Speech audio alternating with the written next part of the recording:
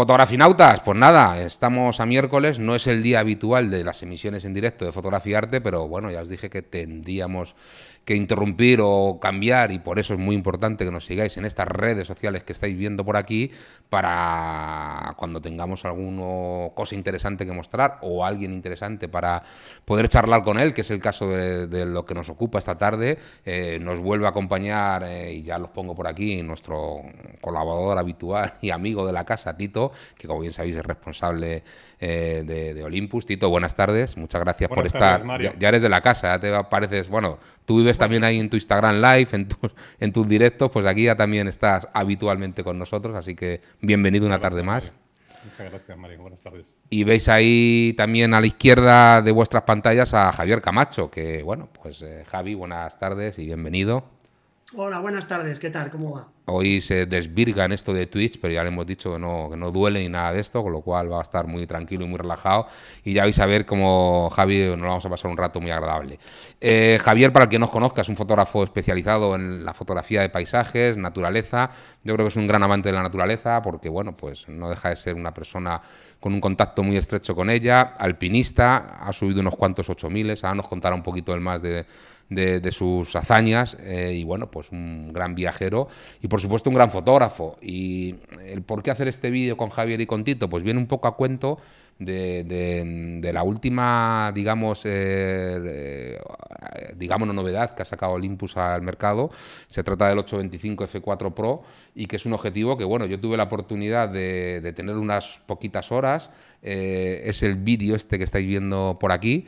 Eh, yo cuando lanzo un vídeo en el canal de YouTube, aunque ahí lo veis en el mismo set donde está, porque fue una cosa como muy rápido, lo tuvimos que hacer aquí mismo donde estamos ahora, noto enseguida del interés que tiene la gente por él, ¿no? Y aquí, fíjate, Javi, aquí hemos utilizado, y te tengo que dar las gracias por esto, porque hemos utilizado alguna de nuestras de tus fotos eh, para ilustrar estas, este vídeo mío. Pero lo que quería decir con todo esto es que eh, la cantidad de visualizaciones y la cantidad de mensajes que hemos recibido en la tienda del 825 ha sido espectacular. De hecho, han sido muchas las, las visualizaciones y muchos los mensajes. Y bueno, pues hablándolo con Tito y tal, dijimos, ¿por qué no pues a la persona que la ha podido probar un poquito más, que es Javier Camacho, traerle, le damos la bienvenida a fotografiarte en este nuevo canal y de alguna manera, bueno, pues que nos cuentes un poco por ahí. Y por ahí, por ahí van un poquito los tiros, eh, Javier, o la primera pregunta que te quiero hacer yo. Vamos a estar, por supuesto, como no puede ser de otra manera, contestando a todo el mundo que nos eh, interactúe en el chat con nosotros, y que bueno, pues eh, iremos interrumpiendo según sea eh, necesario para intentaros atender a todos vosotros, pero como algo hay que hablar y al principio, pues Javi, eh, ¿qué te ha parecido este 825? ¿Qué sensaciones has tenido de él? Y bueno, pues que nos cuentes un poco la experiencia. Vale, pues bueno, primero decir que llevo más de 40 años haciendo fotografías y que he terminado con Olympus y el sistema micro cuatro tercios después de mucho trabajo y mucha experiencia, ¿no? de, haber empezado con cámaras desechables a los ocho años a hacer fotografías, eh, después eh, eh, papel, en diapositiva, luego pues distintos sistemas fotográficos digitales, full frame de varias marcas. Al final he acabado con micro cuatro tercios y con Olympus después de un periodo muy largo, ¿no? No he llegado ahí por casualidad, ¿no? sino que soy una persona experimentada que llevo muchos años haciendo fotografías y, bueno, pues en base a toda esa experiencia de todos mis viajes que he hecho, que me gusta mucho viajar, pues he llegado a utilizar este sistema, ¿no? Y por eso tal vez Olympus pues me eligiera como uno de los tres probadores a nivel mundial de este objetivo, ¿no? Para mí es un objetivo que, está muy bien, muy bien, al que le destacaría pues su versatilidad, ¿no? Su gran versatilidad. Eh, tiene un rango focal, la verdad que te permite prácticamente llevarlo solo eh, con la cámara eh, a hacer paisaje, ¿no? Es un 825 que es un 1650 y que esa gran versatilidad de su rango focal pues te permite utilizarlo en casi todas las circunstancias que se puedan dar en un paisaje. Te puedes ir perfectamente a hacer fotografías a, la montaña, al desierto de las Bardenas, como he hecho yo, y ese rango focal te permite llevar solo eh, ese objetivo. ¿no? Es un objetivo que para mí también, aparte de la gran versatilidad de esa gran gama focal, es la calidad óptica que tiene. ¿no? Para mí esos cristales que le han puesto eh, especiales, pues hacen un objetivo con una calidad óptica muy, muy grande incluido en las esquinas. Estuve haciendo fotografías con mucho detalle en Bardenas Reales, donde hay muchos detalles. ¿Eh? Y tiene una gran calidad óptica ya en F4 y en los bordes, ¿no? cosa que buscamos muy a menudo los fotógrafos de paisaje. ¿no? Eh, tiene una luminosidad bastante importante, F4, eh, que te permite pues, hacer fotografías a pulso con el sistema de estabilización de Olympus eh, SF4 te permite hacer fotografías atardeceres como he estado haciendo en Barenas Reales o en Pirineos a pulso con SF4 y con una calidad, como digo, pues muy, muy, muy grande ya a partir de F4, ¿no? y, sobre todo incluidos en los bordes, que son detalles bastante importantes pues que con otros sistemas es difícil conseguir, incluso con objetivos de mucha calidad, pues mucho detalle en los bordes. ¿no? Luego para paisaje, desde luego, está muy bien el hecho de que como sabéis, pues eh, la profundidad de campo con Olympus es bastante más grande que con otros sistemas, pues por el factor de recorte que lleva eh, el objetivo, un F4 al final es un F8, te permite tener mucha profundidad de campo y entonces tienes mucho más detalle eh, en un F4. Si le cierras hasta F8, F9, por ejemplo, pues al final tienes mucha profundidad de campo para paisaje, ¿no? Y bueno, pues también su gran ligereza, la portabilidad, esa bandera que porta Olympus y que es difícil que otros sistemas eh, puedan conseguir, ¿no? la portabilidad de sus equipos. Al final es un, objetivo que pesa 400 y pico gramos, al que además se le pueden mm, poner eh, filtros. Para mí ha, ha, estado también muy bien que se le pueda poner a ese gran angular distintos filtros. La mayoría de las fotos que he estado utilizando, por encargo además, fueron utilizando distintos filtros. ¿Eh? polarizador para bosques, como luego veremos alguna fotografía, para eliminar esos reflejos que, hacen las gotitas de agua, para potenciar los colores de las hojas, etcétera, etcétera, para reducir a lo mejor también la velocidad de exposición para hacer aguas sedosas y los filtros degradados que para mí son imprescindibles en paisaje. Vamos a ver algún amanecer, atardecer en el que los rangos dinámicos son muy grandes y entonces el, uso de, sistemas eh, portafiltros ligeros eh, no tan específicos para otros objetivos como pudiera ser el Zwico 714, te permite al final reducir el peso también y sobre todo el precio de estos sistemas eh, portafiltros. Entonces esas son un poco las grandes características que para mí ha tenido esta gran lente, ¿no? esa gran polivalencia de todo su rango focal que te permite no llevar otro objetivo si tú quieres hacer fotografía de paisaje y su calidad y su portabilidad, ¿no? Fantástica. Te voy a contratar para mi canal de YouTube, me vas a ahorrar un montón de trabajo porque ni yo mismo, con el rollo que tiene uno aquí encima, lo hubiera podido expresar eh, mejor, pero yo creo que has hecho una exposición realmente eh, buena y honesta, ¿no? Porque yo creo que eh, sí que es cierto que nadie puede discutir del éxito que tiene Olympus Atronador entre los que sois usuarios o amantes de la naturaleza en general y que queréis hacer fotografías cuando estáis en ese entorno y que bueno, pues para alguien que se le ocurra tanto, que hace ese alpinismo, pues ya el peso es algo vital, ¿no? Eran 411 gramos el dato exacto del objetivo y bueno, yo creo que esto lo, lo miran mucho y por eso el éxito, ¿no? que tiene la marca entre tanto, entre tanto usuario. Y claro, vamos a ver fotos, de hecho vamos a empezar a verlas enseguida, pero antes y contestando un poco al chat, un par de... Aquí la gente es muy cachonda en esto de tú, ya lo vas a ver. Tito, eh, no hay que asustarnos, tienes una alarma ahí a, tus espaldas. Aparentemente eso es un teleobjetivo. Eh, va a estallar algo, más que nada para que estar un poco aquí atento, que no flote. Además es que es curioso, porque entre tanta tecnología y tantas luces y LEDs, etcétera, lo que estáis viendo es una vela. Es una vela tal cual. Por, eso, parpadea, porque es una vela. Vale, vale, que no, nos asustamos, ¿no? Y luego aquí, bueno, Bichus Fotografía decía que el maestro Tito, ya le, ya le tratan de maestro, ¿ha visto, Javi?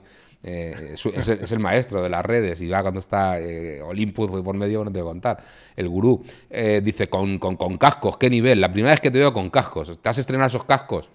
No, que va, pues he hecho un montón de sesiones ya con cascos, porque además cuando entrevistamos a otros compañeros o fotógrafos para evitar eh, retornos de audio y tal, me los, me los pongo últimamente, los uso mucho. Llevo ya mucho tiempo con ellos, ¿eh?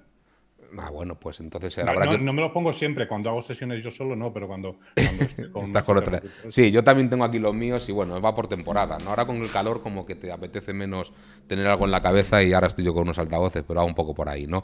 Eh, Tito va a desvelar alguna primicia, no sé, pero vamos a hablar de muchas ofertas y promociones que hay eh, las primicias, pues ya sé que queréis que las desvele siempre, pero no traemos a Tito aquí, va a dejar de venir.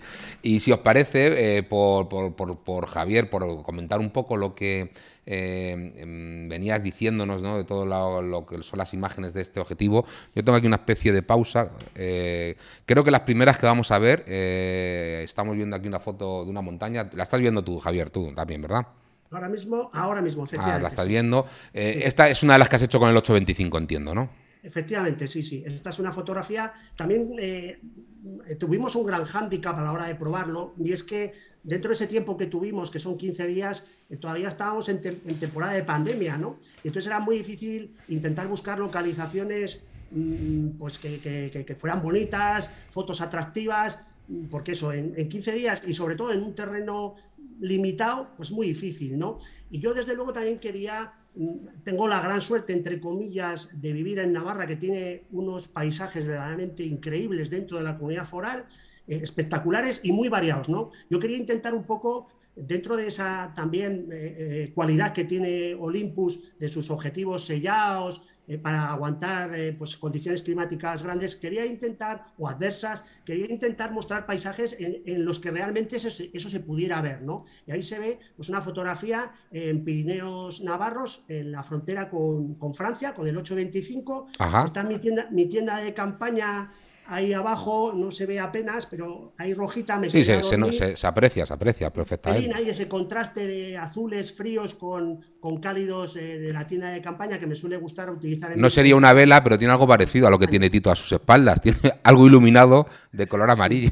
sería un pues candil. hay un frontal y, bueno, pues eso, era un poco eh, mostrar esa, la belleza de ese paisaje. Hice varias tomas ah, con distintas focales eh, para Olympus, para para que mostrara esa gran versatilidad del objetivo. Aquí muestra una, una de las más bonitas, una composición muy bonita, cerrada por abajo, con esa curva, la tienda de campaña, y bueno, y la naturaleza a tope, ¿no? Y, bueno, pues eh, unas condiciones eh, frías, ¿no? Estaría unos 5, 7 grados bajo cero. En teoría está diseñado para soportar temperaturas de menos 10 grados centígrados, pero os puedo decir que yo he llegado con la cámara y otros objetivos como el 1240 u otros objetivos que en teoría no están sellados para aguantar estas, estas eh, inclemencias eh, del tiempo. He estado hasta unos menos 30 bajo cero en la cumbre del Everest o en la cumbre del Lhotse, 8.516 metros y la montaña más alta del planeta, con estos objetivos y estas cámaras. ¿no? O sea que a pesar de que te digan que aguanta menos 10 grados, la verdad es que yo los he testeado como poca gente pueda haber testeado un equipo como este, ¿no? a menos 30, menos 35 grados bajo cero en el Everest y en el Lhotse y en otras montañas que he estado. ¿no? Entonces, mi idea era un poco, pues eso, poder mostrar la versatilidad de este objetivo y, su calidad y, lo que aguanta, ¿no? Ahí se ve en invierno en el Pirineo aragonés a tope, pues haciendo la fotografía. Ah, espectacular, como dicen por aquí, que siempre es un espectáculo ver tu trabajo y yo, yo lo suscribo. Esto es la temperatura que alguna vez me cae alguna pregunta, o lo que sé, por el, foro que tenemos en Fotografiarte o, o incluso algún correo electrónico, ¿no? Pero es seguro que la cámara va a poder aguantar los objetivos hasta menos 10. Siempre te pongo de ejemplo, ¿no? Digo, pues joder, yo conozco a Javier que está en temperatura mucho más extrema y tiene las máquinas funcionando. Es decir, que seguro que sí, vamos. De hecho, esto, Tito, no sé por qué eh, el hecho de que eh, de alguna manera solo se diga menos 10 cuando sabemos positivamente que aguanta bastante más, ¿no? Sí, Será por el tipo, es por la normativa esta, entiendo, ¿no? Claro, y porque también a veces no solamente eh, es la temperatura, sino que también se da otra serie de circunstancias como puede ser humedad o presión, etcétera. Entonces, es, digamos, el dato que se da donde se garantiza, pero, pero perfectamente, como dice Javier, ha habido eh, circunstancias en las que se ha trabajado a mucho menos. Yo recuerdo que cuando sale también la M1 más 2, por ejemplo, con los objetivos profesionales, la prueba de fuego se hizo en la Antártida, o sea que ahí también estaban a, 30 y 40 grados bajo cero. Entonces, yo, creo que es un dato que se corresponde a una serie, a unas condiciones muy concretas donde la temperatura es menos 10, pero si se dan otras circunstancias de presión, y de humedad, etcétera, la, temperatura puede ser muy inferior y, no hay, no, hay, ningún tipo de problema para trabajar con ello con solvencia. Yo el tema de la temperatura no tanto, pero sí que es cierto que con, con agua, eh, no es que me haya bañado, pero prácticamente sí que me han caído auténticas diluvios con algún Olympus trabajando y, Y la verdad es que en ese sentido, bueno, y conocemos a muchos fotógrafos que así lo hacen y no lo suscriben y de luego aguantan fantásticamente bien, ¿no? Tú decías de 15 días, a mí me dejaron el objetivo 15 horas, yo creo, o sea, que tengo menos experiencia con él, eh, Javi. Es cierto, sí, sí. 15 horas yo creo que por ahí, ¿no? Y de las cuales tuve que dormir 8 o alguna menos a lo mejor. Sí, sí, Pero en cualquier tuviste- caso... Ni, ni un día, tú no lo tuviste ni un día. Ni un día, ¿no? Pero bueno, en cualquier caso sí que es cierto que tuve un poco ese feedback que os decía, ¿no? Ahora estamos viendo otra imagen, la vais a ver enseguida vosotros también en, en vuestras pantallas, eh, que creo que también está hecha con, con este objetivo, ¿verdad, Javier?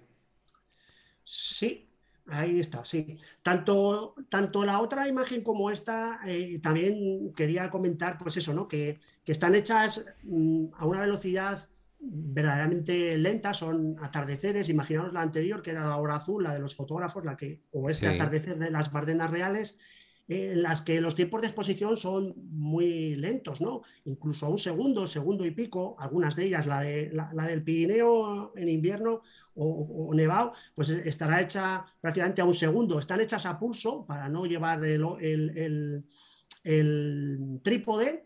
Y bueno, pues eso es increíble, eso no es posible en otros sistemas. El hacer una fotografía a pulso a un segundo, pues, pues es, es- es- es una pasada, ¿no? Te evita llevar eh, el trípode. Yo solo llevo ahora prácticamente para hacer fotografías nocturnas, para utilizar el Lifetime o el Light Composite, pero para amaneceres y atardeceres el, el trípode ya se ha quedado en casa. Esta imagen de Bardenas Reales, pues bueno, eh, aquí la pena es que se ve a tamaño muy reducido, pero en tamaño grande también hice fotografías a pulso de alta resolución con el sistema que tiene la M1.3. eh, en la que se puede ver el nivel de detalle, todas esas grietecitas, eh, de, esos surcos. eh, me encargaron que tratara de mostrar la calidad del objetivo, óptica sobre todo, y como os digo, estas fotografías, algunas de ellas hechas a alta resolución a pulso, pues permite una ampliación muy grande y en la que se pueden ver todas esas escamitas de la Tierra con una definición muy grande, ¿no? A F4, ¿eh? Eh, con, la máxima apertura. eh, y, bueno, pues eso, ya se ve, yo, ya puedo conseguir ver que, que- que- que tiene un nivel de detalle, que es un objetivo especial, con una calidad óptica, la verdad es que muy importante, ¿no? Aquí también utilizar eh, pues un filtro degradado de 1.2 y posiblemente en esta también seguramente a veces incluyo otro filtro de degradado más, un 0,9 para sumar eh, los dos, ¿no? Por ese gran rango dinámico que tiene la imagen. ¿eh? En el cielo siempre pues bastante luz al atardecer o al amanecer y el suelo siempre suele estar muy oscuro. Entonces viene muy bien el poder meter este tipo de mm, filtros eh, para amanecer y atardecer en paisajes que son imprescindibles, ¿no? Ya que tenemos a Tito aquí con esa M1 Mark III que con la que trabajas tú, lo que acabas de, de contarnos, eh, tenés una estabilización, Tito, de hasta seis pasos, cinco y medio, ¿cómo son? Seis y, seis y medio. Seis y medio. Claro, de ahí viene que tú ya te has olvidado, esto es importante, a mí me ha parecido, vamos, hablar con fotógrafos muchas veces conlleva a, a ver también, me encanta hablar con vosotros porque eh, con- conocer un poco por parte vuestra lo que luego yo tengo que explicar muchas veces a otros clientes, a otros usuarios en la tienda me, sirve de muchísima ayuda, ¿no? Eh, quizá a los fabricantes de trípode les mosqué un poco esto, pero el trípode para ti ya que ha pasado casi, salvo en esas excepciones de la fotografía nocturna, como a un plano, a un segundo plano, por, por el gran poderío de, de estabilización que tienen, que tienen esta, esta- estas máquinas. ¿no? Hay una cosa que has dicho y has insistido en ella, y yo quiero hacer especial hincapié, porque el 714, objetivo que habrás probado también, Javier, me imagino, eh, no es cuestión de hacer una comparativa con el 825, pero sí hay un tema que yo creo que el 714 ha retraído la compra de muchísimos usuarios, que era el tema de los filtros, ¿no? La posibilidad de poner filtros a este nuevo 825 en un diámetro de 72, que es un diámetro grandote, pero bueno, de los que están dentro del mundo estándar, y no tener que poner la panafernalia que había que poner al 714 con, con ahí, yo creo que esto es un dato, bajo mi punto de vista, determinante para que la gente se pueda animar mucho a este 825, ¿no? Sí, yo desde mi punto de vista, desde luego, es, es un avance, ¿no? El no tener que ir a parar a un sistema específico portafiltros que suelen ser muy caros, que son Eso es. desarrollados de forma especial para, para este tipo de objetivos. Eh, eh, te da mucha más versatilidad el poder utilizar otros sistemas mucho más universales, mucho más baratos, mucho más ligeros. Y entonces, para mí, pues eh, es, es, algo importante, ¿no? También es cierto que el 714, desde luego, tenía muchas bondades también. Para mí, pues yo creo que hay que buscar un equilibrio. Eh, lógicamente, si quieres hacer fotografía nocturna, pues el 714 va a seguir siendo eh, imprescindible junto con el 8 mm Fisei 1.8, que va muy bien para este tipo de fotos nocturnas, ¿no? Cada uno tiene sus virtudes y sus cosas, ¿no? Pero sí es cierto que este objetivo eh, para paisaje, para el uso cotidiano de la mayoría de la gente, eh, pues eh, viene muy bien, ¿no? Y esa posibilidad de añadirle filtros normales, no diseñados de forma específica, pues la verdad es que es una ventaja, ¿no? Es un tema también interesante el que dice, porque es cierto que yo ahora veo una tendencia, y esta Tito va para ti un poco la pregunta, ¿no? Yo por lo menos, yo incluso personalmente te puedo decir que me da mucho por utilizar cualquiera de las cámaras que pruebo, pues como objetivo normal, más que el clásico pues, objetivo estándar que tenemos todos en mente, zoom, pues irte a estos angulares. No sé si es un tema ya de, la edad, de uno o, de modas, pero que sí que como que te apetece mucho experimentar pues la fotografía que te producen pues objetivos de estas características, ¿no? Y dentro de esto, pues también incluso la fotografía de acercamiento de los primeros planos con esos objetivos y bueno, pues buscar un poco esas distorsiones. Es cierto que está de moda, Tito, esto, en, ya no solo para, está muy claro que el, target que tiene Javier Camacho, fotógrafo eh, especializado en el paisaje, naturaleza, pues está claro que es un, un target perfectamente definido para el 825. Perfecto, pero que yo creo que se abre eh, yo no soy un gran paisajista, bueno, como fotógrafo soy, eh, no soy un grande en nada, pero, en cualquier caso, eh, pero en cualquier caso sí que es cierto que creo que se abre el abanico para muchos usuarios, ¿no? Que, bueno, que van buscando otro tipo de, de, fotografías que no es el paisaje. ¿Van por ahí los tiros, Tito, de verdad? Sí, cierto, eh, Mario. De, hecho, los tiros van por ahí y bueno, yo lo tengo por aquí porque no lo hemos enseñado todavía físicamente. Ah, qué bonito. Yo me acuerdo de él, esas 15 horas. Creo que dormí esa noche con él. Estaba mi mujer, el 825 y yo. Claro, entonces yo lo que pasa es que, claro, compararlo con el 714 no podemos evitarlo porque no dejan de ser dos objetivos que parten de un ángulo de visión muy, muy angular, ¿no?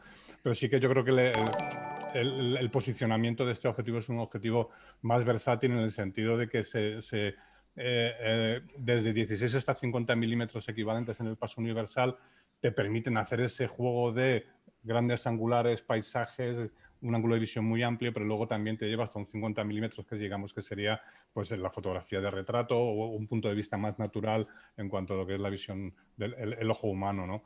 Entonces, eh, todos aquellos que son apasionados ya no solamente del montañismo, sino que es el aire libre, las actividades al aire libre en general, eh, la aventura, la experiencia, todos aquellos fotógrafos que además, más que fotógrafos, además son apasionados de la aventura y de, y de las experiencias y quieren reflejar esas experiencias, donde la fotografía es una parte muy importante, pero no son eh, el caso de Javier, por ejemplo, es un hombre que hace montaña, hace alpinismo extremo y además la fotografía es un objetivo en su vida, ¿no?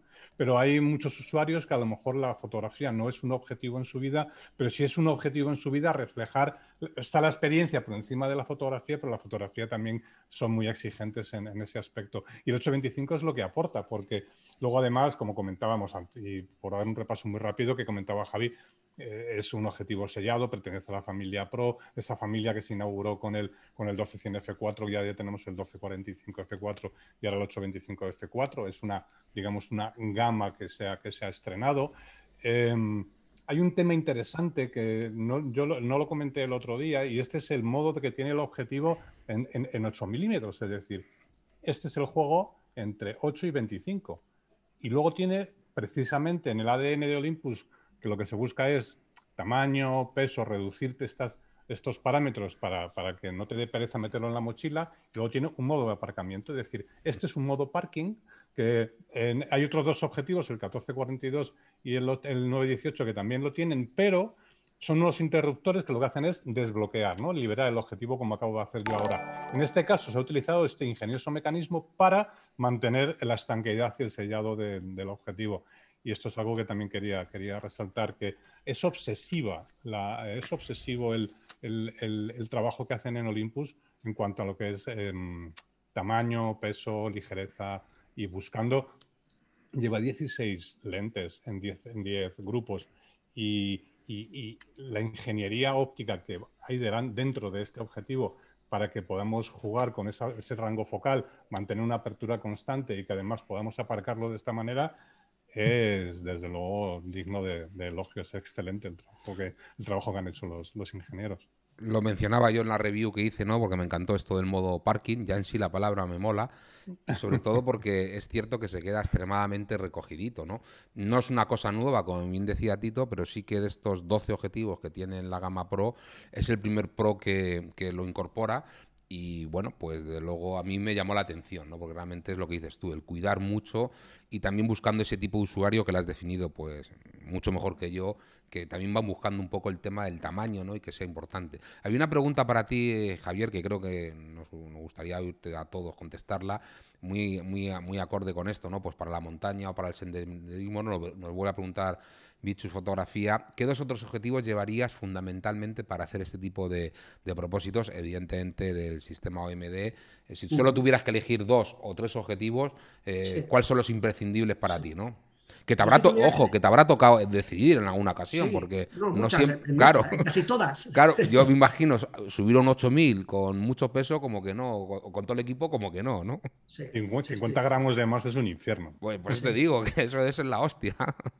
Antes de contestar al respecto de, esto que estáis hablando, de ese ingenioso sistema de bloqueo del objetivo, eh, yo tengo una anécdota pequeña, divertida para contar con esto. ¿no? Yo recuerdo que cuando recibí el objetivo, pues dije, hostia, joder, me lo han dado estropeado, si esto no funciona, no, no, no, sabía, nadie me haya dicho que eso existía y que tienes que apretar, me parece, una especie de embrague o algo para que creo, o, hacer un poquito más de fuerza. No, es hacer un poquito más de fuerza, es vencer con un poquito de presión.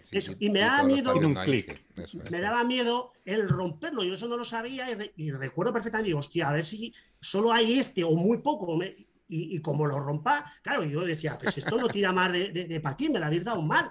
Y, recuerdo que escribí un correo diciendo, oye, que, y bueno, al final pues me di cuenta de que haciendo un poquito más de fuerza, pues tiraba para adelante, ¿no? Es una pequeña anécdota que me pasó, pues bueno, pues es un poco, también un poco falta, falta de experiencia, y, pero fue una, una, una, anécdota curiosa, ¿no?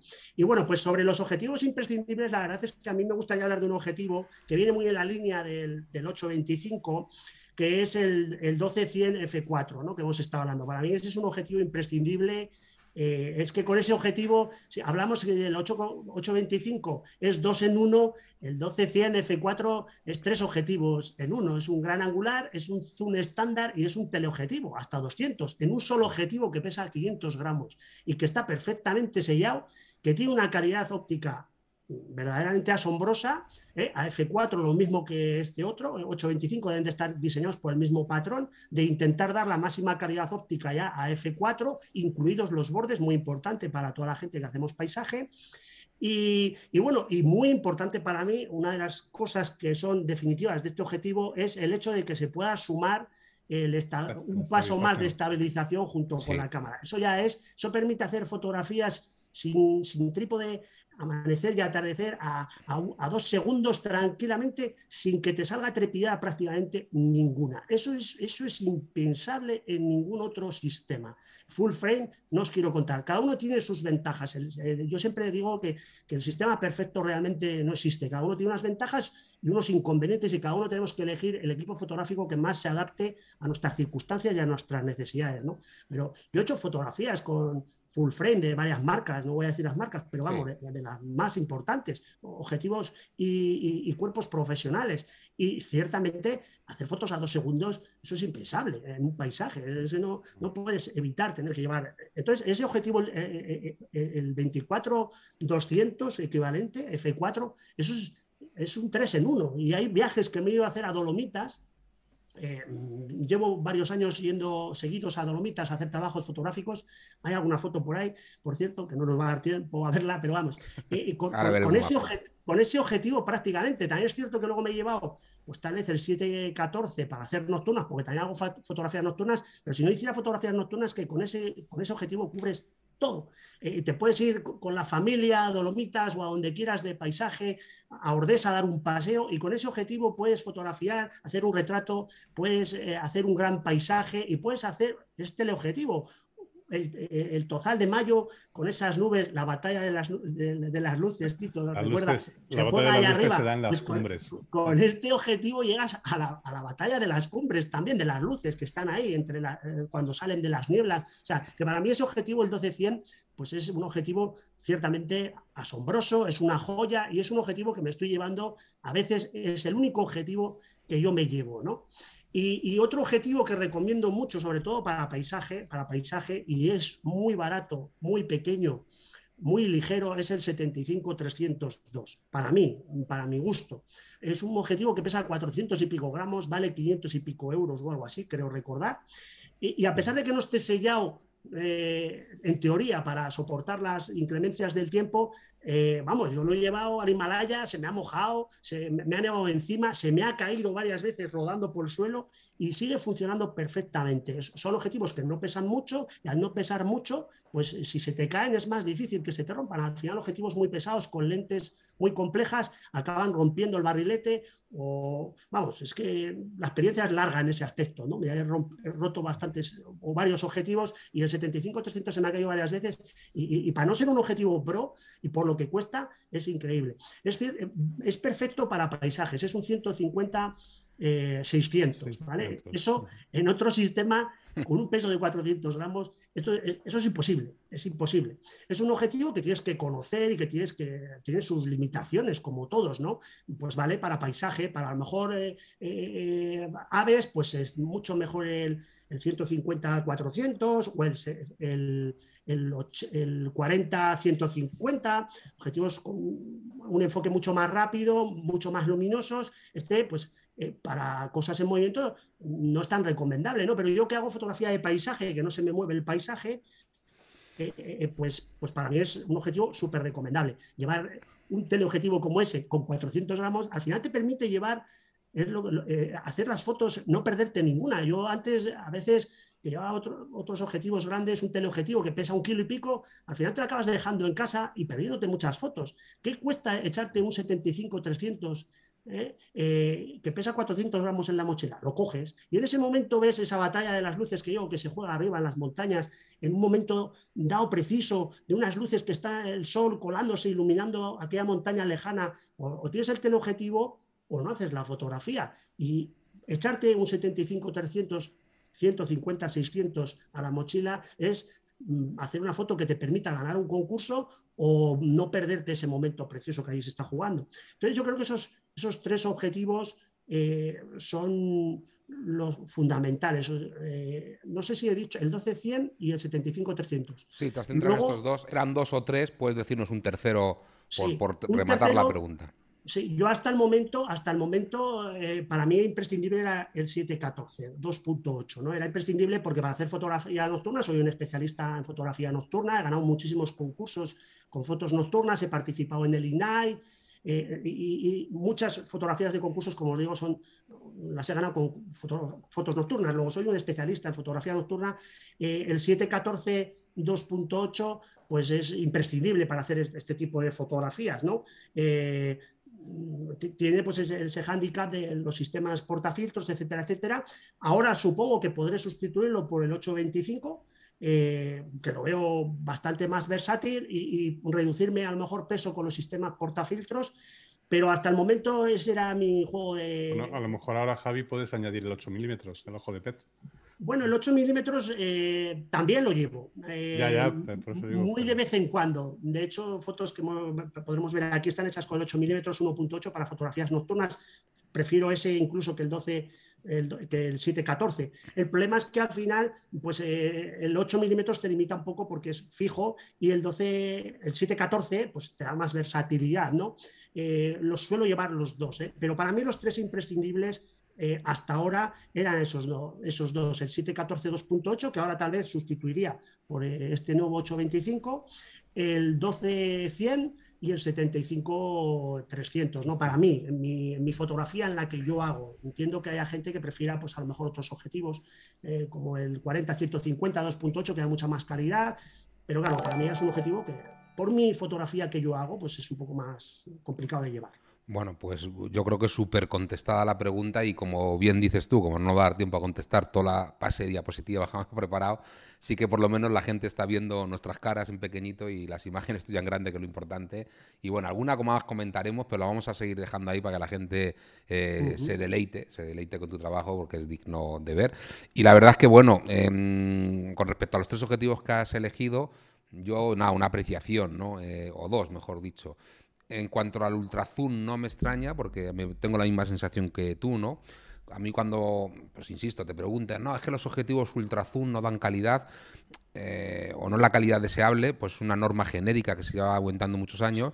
Yo ahora tengo que hacer la excepción, desde que salió el 1200 digo, bueno, sí, hay uno que es el de la marca Olympus, que es un 12-100, que se puede considerar un objetivo ultra zoom, que mantiene un F4 a toda la focal y que sí se puede decir que es un objetivo profesional con mucha calidad. O sea, totalmente de acuerdo contigo. Y muy lógico por tu parte llevarte un todoterreno que equivale a un 24-200, que es una auténtica salvajada, pues para cubrir cualquier tipo de fotografía, ¿no?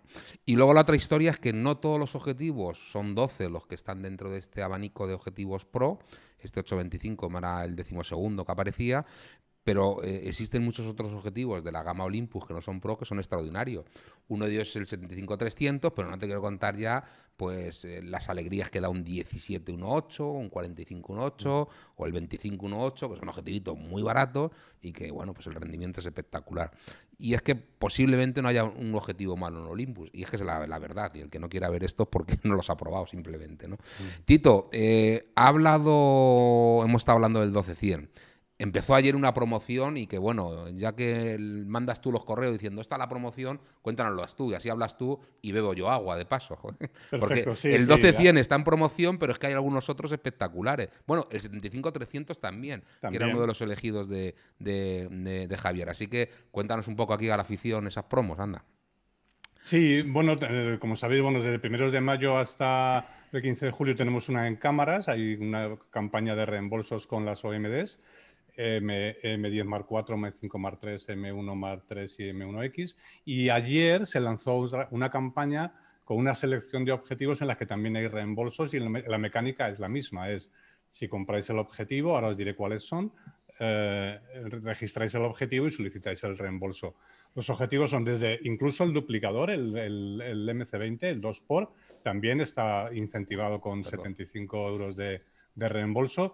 Y en la campaña entran el 75 mm 1.8, el 75 300, el 14 150 y el 12 200 con 100 euros.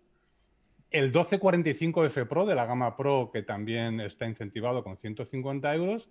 Y luego tenéis el 40 150 28 profesional y el 12 estabilizado F4 profesional con 200 euros de reembolso. Son ofertas muy, muy atractivas. Y esto estarán, desde, estarán en promoción desde ayer, 15 de, junio, hasta el 15 de agosto. Tenéis dos meses para tomar la decisión y comprarlo y luego una vez que acaba la campaña hay 15 días más para... Eh, solicitar el reembolso. Se puede solicitar el reembolso hasta el 31 de agosto. Pues nada, casi nada a lo que acaba de decir Tito. Es decir, se juntan esas dos promociones al menos durante un mes de la que había con cámaras, que ya de por sí estaba funcionando francamente bien.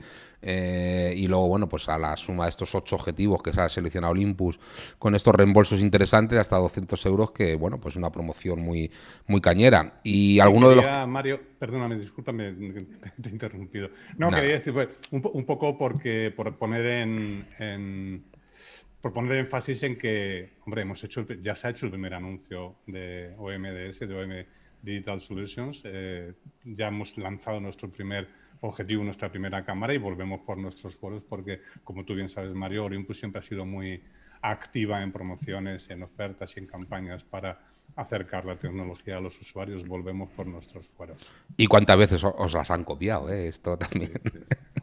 lo vamos a dejar ahí. Esto no ha hecho nada más que empezar, Mario. Ya, ya lo sé yo, que eh, de alguna manera es un to be continued, ¿no? Es una continuación de lo que ya venís haciendo bien y por qué cambiarlo, ¿no?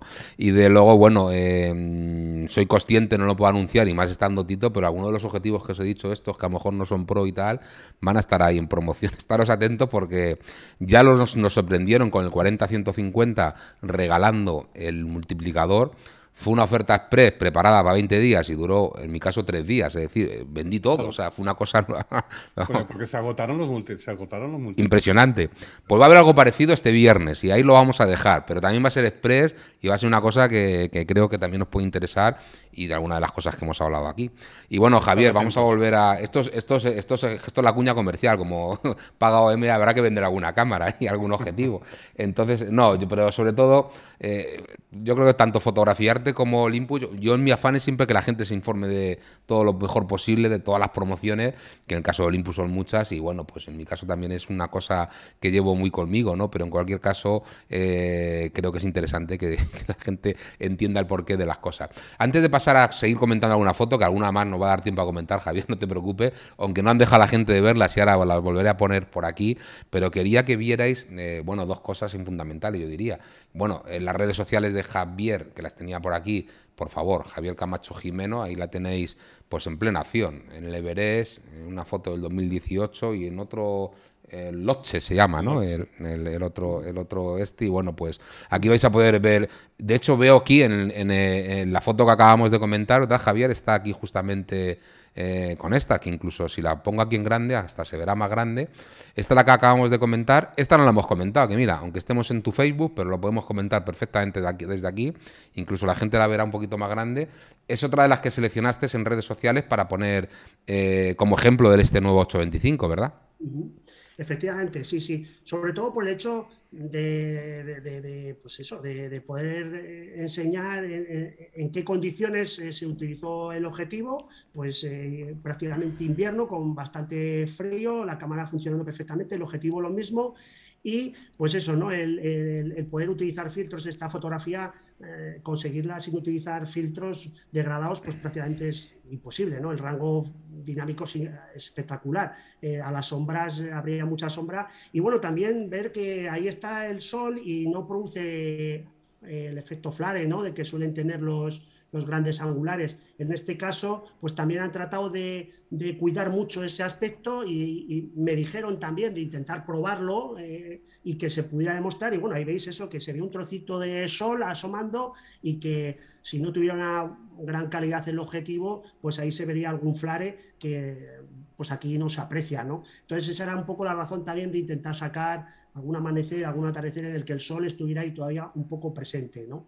El juntar todas esas circunstancias perfectamente plasmado y el objetivo totalmente cumplido. Eh, Tito, para que no se nos escape en el chat aquí cosillas que te preguntan, esto, eh, la exclusiva que aquí diste la última vez decías que iba a haber hasta una o dos cámaras en este año fiscal japonés. Eh, claro, la gente aquí ya te dije que afina mucho, es decir, nos pregunta Foto que si una de las dos cámaras iba a ser la Olympus Pen que recién habéis presentado.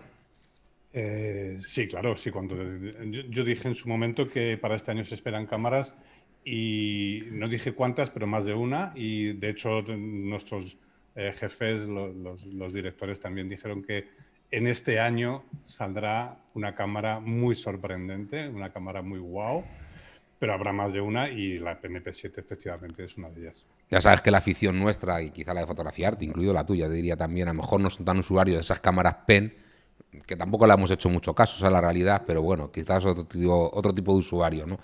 Eh, sí, también, quizás, yo no sé si es por una cuestión de la manera de fotografiar, ¿no? Pero yo soy más de, cámaras de OMD, cámaras con visor, y en el caso de PEN soy más de PNF. Está clarísimo. Bueno. Eh, bueno. seguimos aquí con el fondo de otra cascada que ahora pasamos a comentar también, eh, Javier, si te parece, que está hecha con este 825, pero por actualizar esto, Esteiro te comentó, por cierto, a ti, Tito, eh, que sugirió hacer la foto de la Luna con el 150-400 a resolución 50 millones de píxeles a mano alzada en el directo de, esta, de Instagram. Te comentó esto, ¿no? no te pilla de sorpresa. interrumpir, sí, porque hicimos un directo desde el campo. Disculpa, Javi, eh, nada, tardo 30 segundos, pero hicimos un directo desde el campo y con Ángel de Francisco, al que le mando un abrazo, un abrazo desde aquí.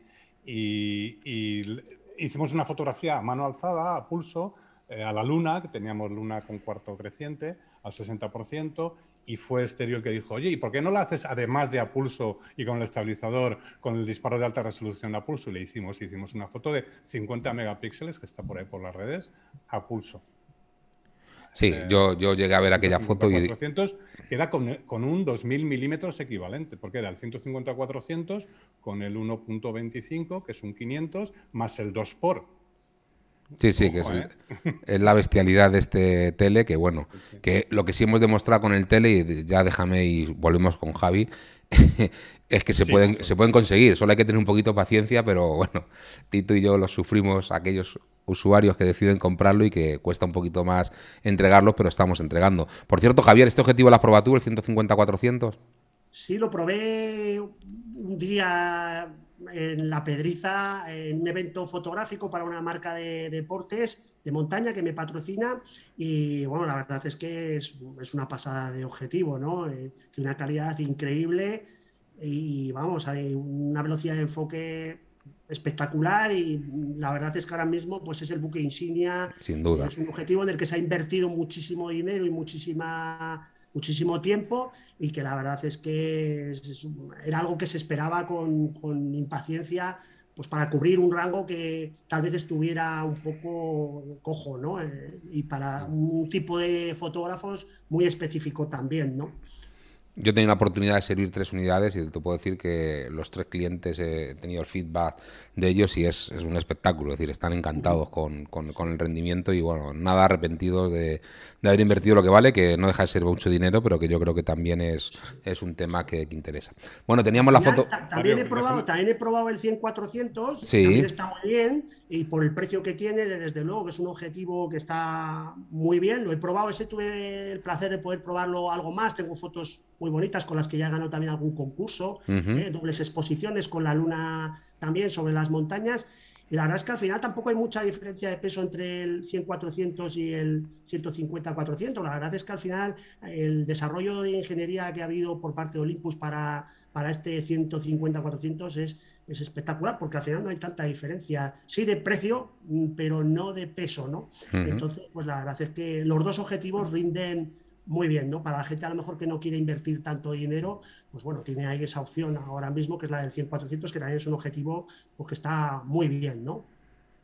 Ibas a decir, Tito. Quería, sí. quería- sí, quería apuntar solamente que el que estáis viendo aquí atrás, que es de mentira, ¿eh? que a nadie, porque como están tan buscados, a ver si alguno le va a dar por venir a mi estudio a robármelo. Este objetivo es de mentira. Este es el que hemos tenido siempre en las ferias y tal, es un dummy. Está, otro está hueco por dentro y tiene una vela por detrás. Es un poco el secreto de, de- del setup que tiene ahí Tito hoy. Eh, del 100-400 Javi es que yo no quería hablar, porque es otro que me corren a gorrazo. Porque vamos entregando, la media es de esperar un par de meses, 60 días de espera, porque también es otro objetivo que desde que salió al mercado, yo nunca lo he tenido en stock, es decir, todos los objetivos que han venido, pues ya estaban previamente vendidos y también es otro espectáculo, es otro objetivo eh, maravilloso. Bueno, dice que Tito, si llevas un polo que pone el número 3, eso quiere decir que vas a hacer tres primicias hoy. La gente es insistente, ya lo sabes tú, que Tito, mi obligación es leer el chat. Igual que mi obligación es darle las buenas tardes al bueno de Rubén Gabelli, que le tenemos por aquí. Creo que estará en un rato y luego mandaremos a nuestra gente Rubén. a su canal. Y bueno, pues eh, vamos a seguir. Teníamos la cascada aquí, Javier. Teníamos la cascada. ¿Dónde es esta Bueno, cascada? La Ilústranos. fotografía, esto es en Navarra también, un sitio muy bonito. Y bueno, pues, Oye, a Navarra, a Navarra va a haber que ir. Con todo lo que me has contado de Navarra esta tarde. la- desde luego, yo- que conste que yo no soy navarro, además. O sea, yo vivo en Navarra, pero soy aragonés. Ah, Eh, amigo, pues con más razón en todavía, ¿no? pe- Pero ciertamente los eh, la grandeza de los paisajes que tiene Navarra, eh, yo creo que hay pocos sitios en España que pueda conseguir tener algo parecido, ¿no? Tal vez Asturias, eh, Cantabria, por tener el mar también, montaña, bosques, lo tienen todo, ¿no? No tienen el desierto como tenemos nosotros aquí de las Bardenas, eh, pero Pirineos es, precioso, ¿no? Entonces tenemos una gran suerte. Y bueno, vino muy bien para poder probar el objetivo en, distintos, en, distintas circunstancias, ¿eh? en Pirineos, en el bosque.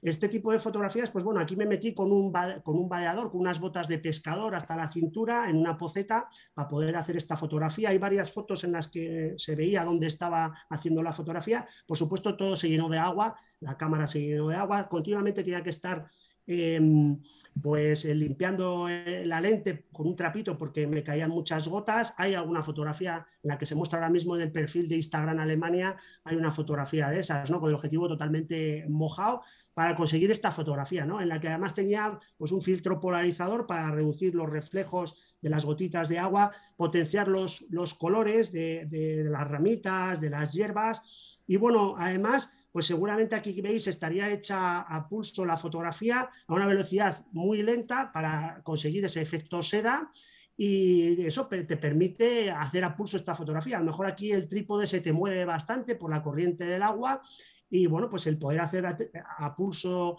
esta fotografía. Ya no recuerdo si está hecha con el ND32 que tiene la, cámara por software, eh, que, es, una, pues es una característica muy útil ¿no? para este tipo de fotografías, que te reduce mucho la luz de, del ambiente para poder conseguir estos efectos seda y que bien, muy bien, ¿no? En la M13 pues eh, es una función que la verdad es, te permite, es un filtro que te reduce muchos pasos de luz, lo que tú quieras, varias posibilidades y está seguro que está hecha tal vez con esa, con esa función a, a una velocidad, como os digo, pues muy pequeña para conseguir ese efecto seda, ¿no? Está claro que yo no sé cómo quiero Olympus, porque dejé de vender trípodes por la estabilización y es que tampoco vendo filtros en ED también ahora. O sea, Tito, esto va a haber que solucionar de alguna manera, ¿no? Bueno, dicho la broma, eh, también Javier tiene su, Instagram, que ahora lo vamos a ver, y vamos a comentar una foto por aquí también eh, que tengamos. Esta es su cuenta, Javier-Gamacho, ja, otra vez Jimeno. Ese Jimeno último es con G. Lo estáis viendo todos ahí de tal maneras en pantalla. Eh, os invito a que sigáis, porque realmente no deja de ser un deleite ver este tipo de fotografía.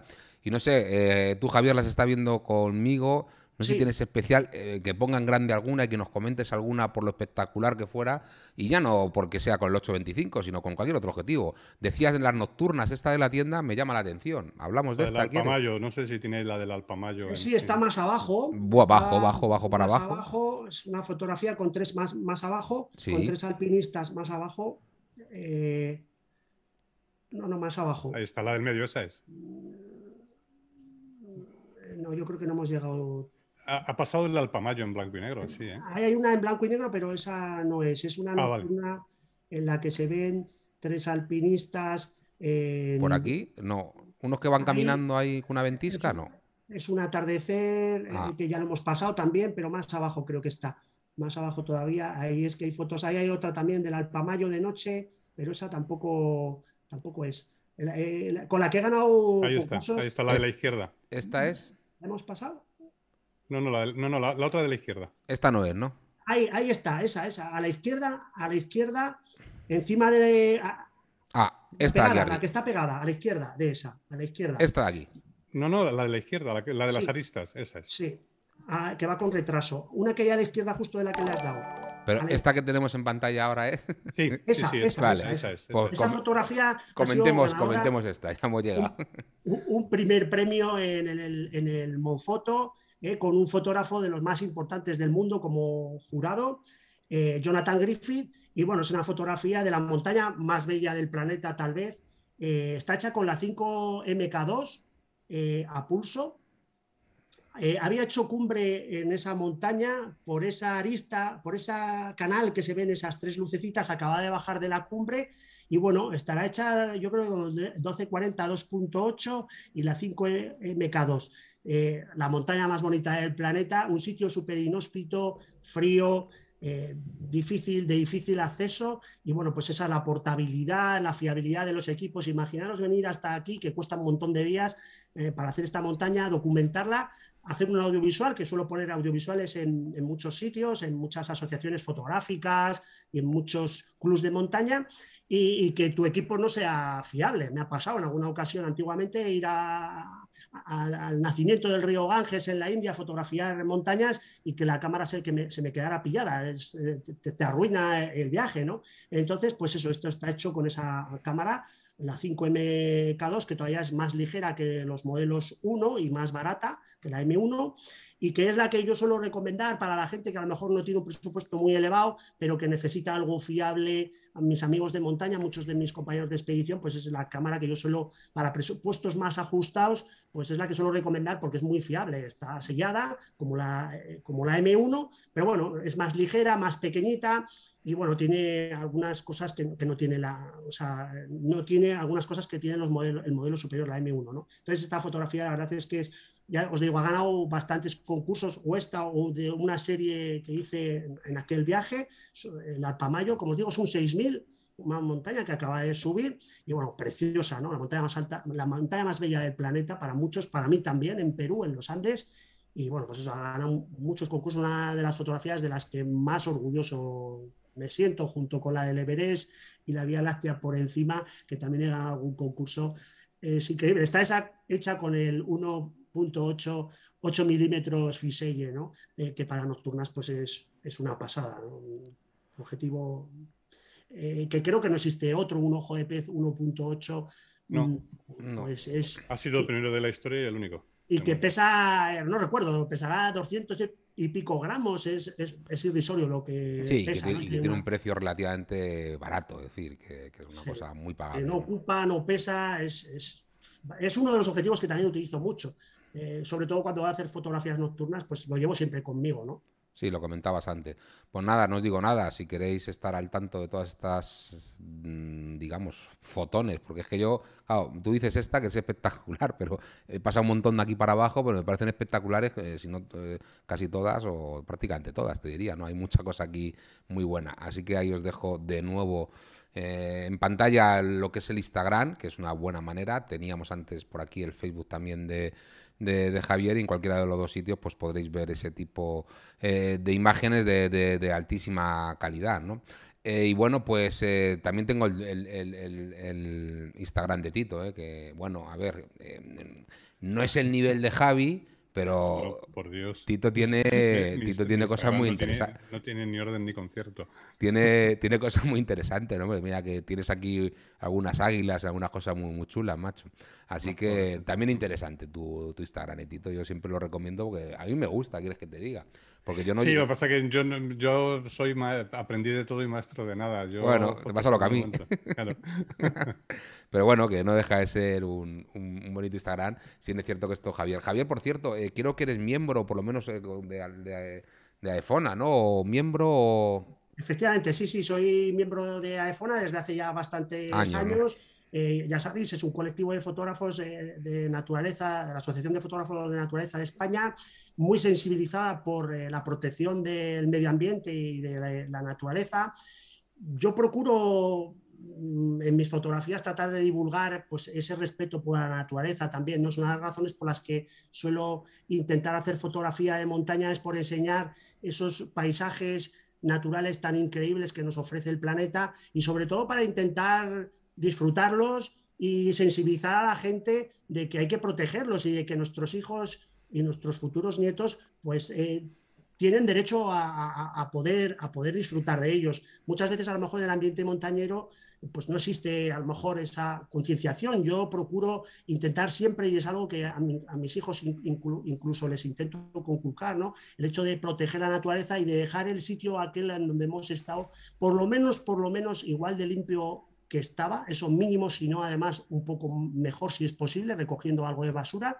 Y bueno, es, eh, pues eso, pertenezco a EFONA desde hace muchos años, un colectivo al que la verdad es que animo a todo el mundo a participar, se aprende muchísimo, un colectivo que hace muchas actividades para los socios, eh, cada vez más, tiene sus propios concursos también, eh, he ganado también algún concurso de, de además de votación por los socios, que para mí tiene un, un, valor especial, ¿no? que todos los miembros de AEFONA mm, hayan premiado una fotografía más que un jurado específico que tiene unos gustos concretos, pues, eh, pues eso, es un colectivo en el, al que pertenezco desde hace muchos años y que creo que es muy interesante participar y porque tiene muchas variedades, tienes fotografía de aves, tienes fotografía de paisaje, tienes fotografías de nocturnas, de, de, muchas cosas, ¿no? Y siempre con un denominador común, ¿no? Que es la protección de la naturaleza, yo creo que es muy importante.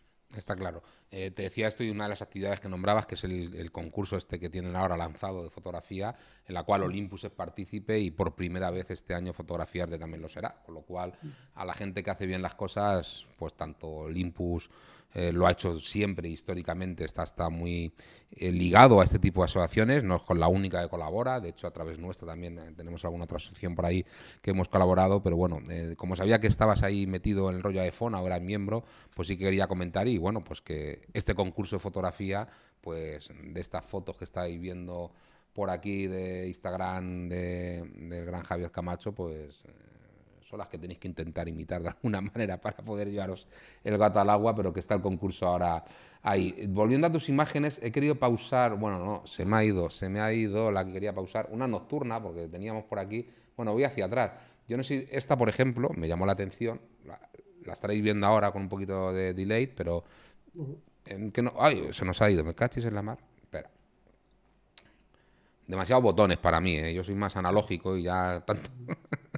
Lo mío es vender cámara de fotos. Aquí tengo que estar con siete ordenadores, tres pantallas. Esta es la que quería Javi, ya no sé si la tendréis ahí en pantalla eh, vista. No, no era esta. Era, se te ha marchado. Yo creo que. Era una nocturna, coño. Bueno, esa es nocturna también, ¿no? Se puede considerar. No, pero era más para atrás, a ver si soy capaz. ¿eh? Un poquito más para atrás, tal vez. Esta, esta era, ¿no? Yo creo, sí. Bueno, comenta esta. Yo no sé si era esta exactamente, pero bueno, esta está en la tienda. Dinos dónde estás. Bueno, esta fotografía tiene también bastante. ¿Con qué objetivo has hecho? Aunque me lo supongo.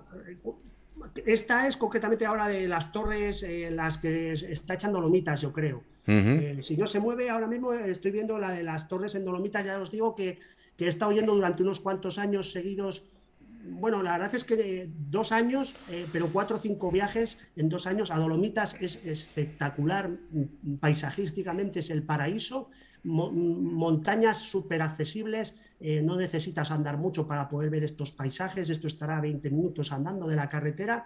Y, bueno, es, increíble la cantidad de paisajes espectaculares que hay allí. Y bueno, pues esto es una nocturna hecha en invierno que fui a Dolomitas para hacer un documental que ya tengo terminado, solo exclusivamente de Dolomitas, un audiovisual que pongo en asociaciones fotográficas, como os digo, y en, en clubs de montaña, un trabajo específico sobre Dolomitas que ya está terminado. Y bueno, pues esta es una nocturna con la tienda de campaña, está yo solo aquí, está creo que está hecha o está con, el 8 milímetros también o con el 1242.8, como los dos objetivos. yo sospechaba que, era el 8, pero bueno, a lo mejor me atrevo mucho. puede ser el 8 por la deformidad de las montañas. por ahí va un poco mi, mi apreciación. Es bastante probable. Eh, tengo también una circumpolar exactamente igual, de, este, de esta muy espectacular, que no está aquí, eh, de, este mismo sitio. Son las cinco torres, un sitio muy fotogénico, muy bonito. En este caso, pues las estrellas no, no, no quise que fuera una circumpolar, que está hecha con el Live Composite, ya sabéis que es una forma de poder hacer fotografías que tiene Olympus exclusivamente y que es increíble, ¿no? que te vaya sumando las luces que cambian de la fotografía para que, eh, por ejemplo, la tienda de campaña no salga quemada. ¿no? Tú pones una exposición de 30 segundos y luego un montón de fotos de 30 segundos que van dibujando la, la circumpolar. Bueno, pues esta no es circumpolar, eh, estará hecha con el 1.8 seguramente, y bueno, pues eso es en Dolomitas, suelo procurar intentar meter en primer término esa tienda de campaña para poder enfocar también. Eh, cuando pones el punto de enfoque sobre la mm, tienda de campaña, sabes si la tienes a 2-3 metros que el resto de la fotografía te va a salir enfocada. Y bueno, pues pues eso, suelo poner un truquito, un pequeño truco que suelo hacer para este tipo de fotografías. Ya sé que a la gente también le gusta que le cuenten pequeños truquillos. Normalmente es positivo ponerle una funda encima al frontal o al punto de luz, una funda de color rojo o amarilla eh, leve para que la luz sea mucho más difuminada y no queme un punto concreto de la tienda de campaña. ¿no? De esta manera eh, eh, pues queda la luz mucho más tenue y mucho más interesante y no se te quema nada. ¿no? Es importante poner siempre una fundita o una bolsa de plástico mismamente que te extienda la luz y te la difumine. Y bueno, pues eso, Cinco Torres, un sitio verdaderamente increíble. Aquí sí que utilicé trípode. Eh, los trípodes también sirven y también se pueden utilizar y son imprescindibles para según qué tipos de fotografía. Yo no me lo suelo dejar para cuando hago un viaje a Dolomitas, porque siempre hago nocturnas. Siempre suelo llevar uno, pero si voy a hacer nocturnas, si voy a hacer un amanecer o atardecer, como estaba haciendo ahora en Pirineos, he estado una semana haciendo fotos en, Pirineos y, no he llevado el tipo porque no iba a hacer fotografías nocturnas. Bueno, aquí la afición te comenta Javier que, estaría dispuesto a irse contigo a las alturas para que le hicieras un taller. O sea, no, se va, no le valen con el pequeño truco que nos acabas de contar, el cual no lo hemos apuntado, pero quieren más, ¿eh? quieren más caña. Así que si te animas, ahí, ahí, queda, ahí queda dicho el tema de, ese taller hecho en las alturas, ¿no? Eh, aquí vemos una aurora boreal, ¿no? y has pasado la del Everest. Que a ver, a ver, a ver. Pues joder, ves. La, yo la sigo viendo, la del Everest, ahora ya se ha ido. Yo es que a la Pedriza se he ido, pero de la Pedriza no me saques. ¿eh? La, Vía Láctea. ¿Dónde es? ¿Dónde es? Esta, ¿no? Sí. La Vía Láctea sobre eh, mi tienda de campaña y sobre unos alpinistas que, están por la cascada del Kumbu, ¿no? Eso está hecho... Pero es la que estamos viendo ahora, ¿no, Javier? Es la que se ve ahora, efectivamente. Justamente. Eh, eh, está hecha con el 8 milímetros, 1.8, trípode, por supuesto. Esta es la que hablabas antes, que ganó algún concurso, justamente, sí, ¿no? algún concurso de fotografía nocturna y bueno, pues ese es, eh, el, campo base del Everest a las 3, 4 de la mañana con una temperatura de 20 bajo cero, una cosa así. ¿Eh? y esa Vía Láctea, y con esos alpinistas, esas lucecitas que se ven allá en, la cascada del Cumbo, que es una de las partes más peligrosas de la ascensión al Everest, cumbre que logré en el año 2018. Eh, quería intentar hacerlo sin oxígeno artificial, pero al final pues tuve que ponérmelo por problemas de salud. Eh, incluso casi no puedo hacer cumbre utilizando el oxígeno por esos problemas de salud que tenía, infección en el pulmón.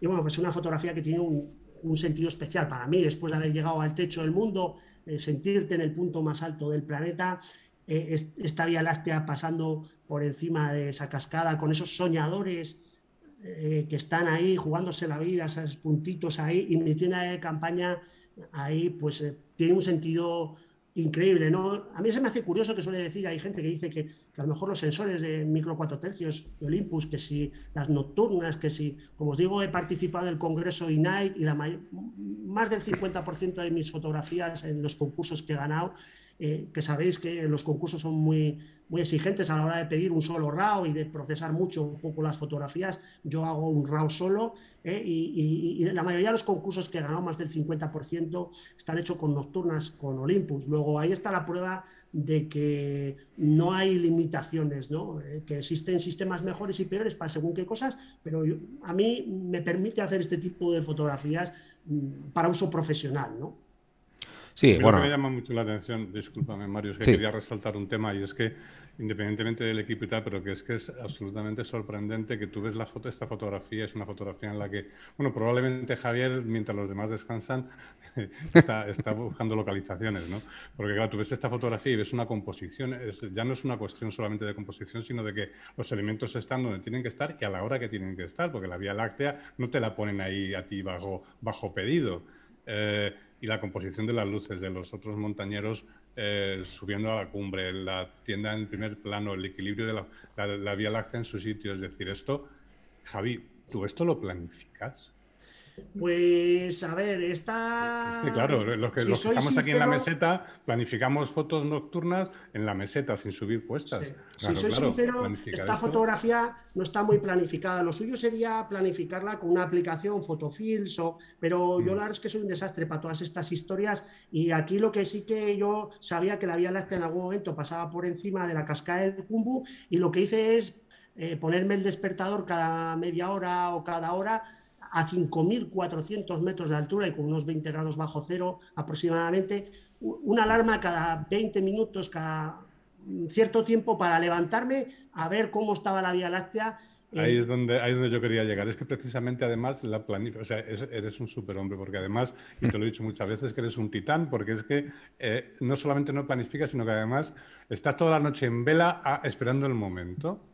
Y, claro, ¿cómo no van a tener mérito las fotos? Porque luego además fotográficamente son auténticas obras de arte. Y con la idea de subir a la cumbre, porque un fotógrafo que se dedique a hacer fotografías puede jugarse el estar ahí muchos días a las tantas de la madrugada y coger una faringitis, como fue lo que yo cogí haciendo estas fotografías, que fueron las que a punto estuvieron de costarme el no poder hacer la cumbre del Everest, ¿no? El hecho de hacer estas fotos que prácticamente ningún alpinista hace. Sí, algún fotógrafo que pase por ahí del campo base y se dedique exclusivamente a eso, pero alpinistas eh, solo hay dos, tres en el mundo, como Jonathan Griffith y alguno más, mm. eh, eh, te está jugando la cumbre. Yo cogí una faringitis que por culpa de ella, como os digo, luego me bajó a pulmón. Eh, estás jugando la cumbre y te estás jugando volver a casa, Javi. Principio de neumonía y bueno, esa infección luego además arriba en la cumbre con el respirador se me pasó a los ojos, estuve a punto de quedarme ciego y tuve que pedir un rescate a 8.000 metros porque se me pegaron los ojos de las legañas eh, esto por la fotografía, eh, si no, no hubiera cogido la faringitis. Por hacer este tipo de fotografías me juego incluso la vida, ¿no? Como os digo, tuve que organizar un rescate que al final pude evitar, pues porque se me pasó un poco la conjuntivitis con una pequeña... Eh, tomé pues medicamento que me permitió a la mañana siguiente pues bajar desde 8.000 metros por mis propios medios sin necesidad de pedir ese rescate, ¿no?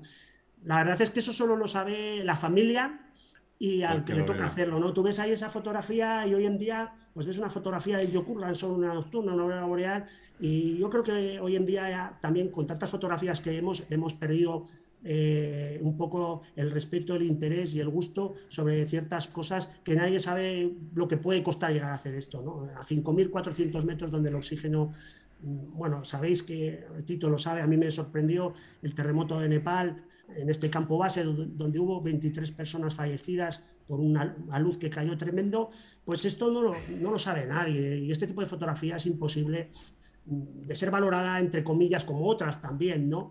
A lo mejor eh, hay otro tipo de fotografías que sí se valora, como el tema de los guepardos, eh, estos de las nieves, leopardos de las nieves. Todo el mundo, aunque la fotografía sea relativamente no tan decente, pero saben que es una especie muy difícil de fotografiar, se valora. En este caso, nadie sabe valorar lo que es hacer una fotografía 20 bajo cero a las 5 de la mañana, a las 4 de la mañana, a 5.400 metros. ¿no? Pero bueno, es, desde luego, para mí esto es muy grande y, me compensa la satisfacción que a mí me ha dado estar allá arriba y hacer esta foto y recordar cada momento, que estoy aquí viendo a esas personas allá y mi tienda de campaña, pues eso es increíble. ¿no? Y la grandeza de poder contar con este tipo de fotografías que luego nosotros los que estamos aquí las podemos disfrutar y podemos estar casi estar ahí. ¿no? Bueno, sin duda, a mí me ha dejado casi sin palabras y eso es muy complicado, porque uno si lo sabe hacer es hablar. Pues ya entiendo el porqué, ¿no? El porqué del significado especial de esta fotografía, por todo lo que nos has contado y has querido compartir eh, aquí. De luego, pues espectacular en cuanto a todo, ¿no? Y que sin duda alguna, bueno, pues lo que dices tú, el sacrificio ya no solo del alpinista, que es enorme, sino del fotógrafo convencido de que tenía que levantarse cada cierto tiempo para buscar ese, ese, este. Y bueno, pues es un llamamiento también a todos los fotógrafos que vayan buscando pues esas vías lácteas, que cuando compres el 8 milímetros 1.8, pues no vamos a hacerte una promoción desde la tienda ni de Olympus poniéndote la vía láctea para cuando tú quieras, sino que bueno, pues es lo que tiene la naturaleza, que por ahí pasa. Y aunque hay aplicaciones como las que bien dices eh, y has mencionado, pero bueno, muchas veces la intuición del propio Javier yo creo que se ve en, la fotografía. Eh, espectacular, o sea, no te puedo decir mucho más, Javier, porque me has dejado eh, casi sin palabras, ¿no? Y bueno, pues eh, yo creo que hemos hecho un poco lo que pretendíamos, Javier, que es que nos contaras inicialmente lo que ha sido el 825 para ti, era la última novedad que teníamos de la marca, ese decimosegundo objetivo de, de los Zuico Pro. y a mí a ti fueron 15 días, a mí 15 horas, pero hemos llegado a la misma conclusión. Eh, creo que es un buen objetivo, que es un gran objetivo, que es un objetivo que de hecho yo lanzado el vídeo de logo y hemos tenido eh, eh, reservas de él, porque entiendo que es un objetivo, por lo que hemos hablado, ¿no? de esa portabilidad, esos 411 gramos, ese precio también psicológico, ¿no? que no sobrepase los 1000 euros, la posibilidad de ponerle filtros, o sea que entiendo que el mensaje que queríamos dar hoy sobre este objetivo pues ha cumplido perfectamente, se ratifica mucho lo que eh, yo había percibido y que, bueno, ya que seas tú el que no lo cuentes, pues no te quiero contar. Es decir, yo creo que a todos los que nos están viendo aquí durante toda la tarde, dentro de esta hora y pico que llevamos, hora y cuarto ya que llevamos en directo, pues de luego creo que, que le ha venido francamente bien. Tito le hemos sacado alguna cosa más, por lo menos promociones, que no es poco, es decir, aprovecharos de alguna.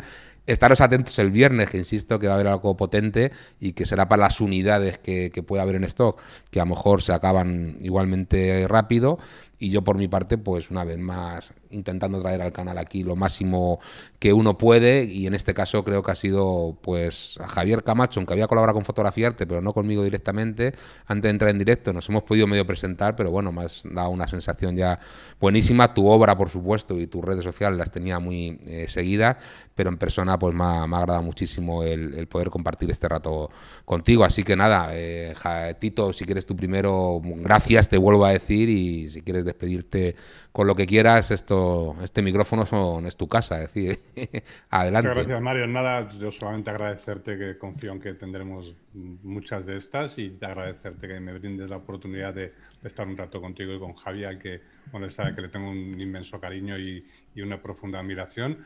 Eh, no, hace, no hace mucho que nos hemos visto. Compartimos lo que pasa que a otro nivel eh, el amor por la montaña. Yo hace tiempo que hice también montaña y, y yo hay un par de cosas que he aprendido de él, eh, un par de frases que, le he escuchado a él y que me las he grabado a fuego. Y es que, que la cumbre es la mitad del camino y de que ya, ha salido aquí, ¿no? Que, la batalla de las luces se da en las cumbres. Mario, siempre a tu disposición. Agradecer a todos los que nos han estado viendo que, que hayan estado ahí y que, bueno, pues seguimos viendo que hay promociones en marcha y que seguimos desarrollando tecnología y producto para seguir disfrutando de nuestra pasión, que es, la fotografía. Sin duda, y la que nos une, y bueno, pues sí, nos ha visto mucha gente, como es habitual, desde Chile, Sudamérica y mucha gente en España. Hemos mantenido un buen ritmo de seguidores en directo durante todo el directo. Luego esto lo podéis ver en YouTube también, que lo subiremos. Recordaros a todos vosotros que tenemos un concurso, un sorteo, mejor dicho, en marcha, que mañana habrá otro directo por parte de Fotografiarte, ya sin estrellas invitadas, pero en cualquier caso sí que vamos a, haceros... Eh, o vamos a hacer ese sorteo, así que los que nos estéis viendo hoy, mañana a partir de las seis y media, otra vez estaré aquí eh, hablando de esas preguntas y respuestas que os rondan la cabeza y bueno, pues antes de daros mi coletilla final, paso la palabra a Javier, agradeciéndote una vez más, Javier. Eh, un placer para mí, encantado que estés aquí.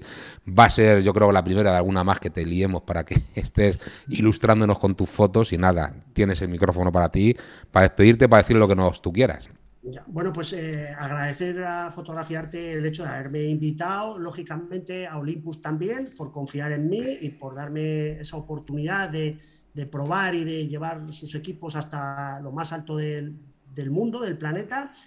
Agradecer también a todos los que os habéis conectado por aquí en algún momento dado, pues para ver lo que estábamos contando y que eso, ningún problema para volver a acudir las veces que hagan falta, porque yo la verdad es que también lo he pasado muy bien, entre buena gente, pues está a gusto. En mi pueblo dicen que donde se esté bien, pues mucho rato. Para mí Tito, desde luego, es más que el representante, uno de los representantes de Olympus, es un amigo, me ha venido a despedir a mis expediciones, es algo que no hace prácticamente nadie, me viene a, visitar cuando vuelvo y son cosas que, que no se olvidan nunca. ¿no? Olympus también es un gran equipo de, de personas, de buenas personas, de buena gente y, y, es muy importante también, ¿no? Hoy en día, la vida que llevamos y todo lo que estamos viendo, pues creo que también es importante, ¿no? En definitiva, agradeceros a todos la oportunidad que me habéis brindado para estar hoy aquí con vosotros. abrazo, pues, Javi.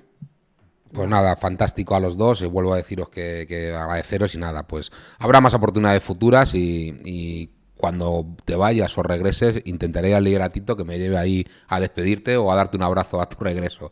Yo me, yo me apunto a eso. Eh, y nada más, chicos, pues voy a pasar mi coletilla final, aguantar un minutito por allí. Aquí estaré yo solo. Eh, os lo decía antes, al principio del vídeo, os lo digo al final. Estas redes sociales que veis aquí son muy importantes en nuestro caso que nos sigáis en ellas.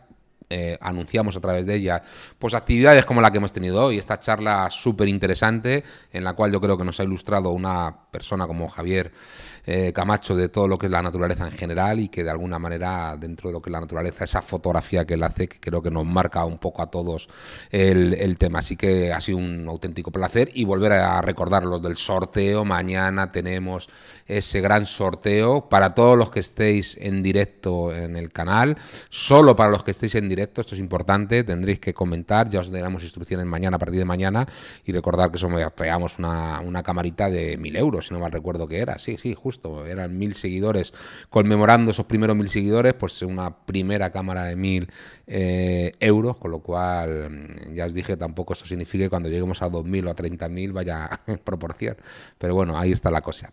Y vamos a ver si hay alguien por aquí en directo que podamos mandaros. Pensaba que iba a estar Rubén por aquí, pero me han dicho que no estaba. Y bueno, pues no tenemos a nadie de los que conocemos, al menos por aquí.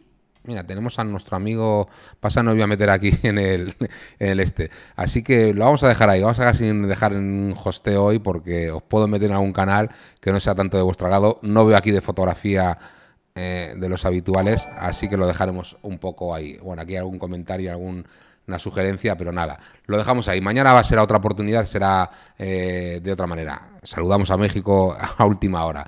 Eh, fotografinautas, nos vemos mañana a las seis y media. Recordar, mil euros en sorteo, camarita de mil euros, mil seguidores, lo prometido es deuda y mañana a lo largo del directo vamos a hacerlo. Así que nada más, nos vemos en el próximo directo que será mañana, nada, en menos de 24 horas. Hasta luego, amigos.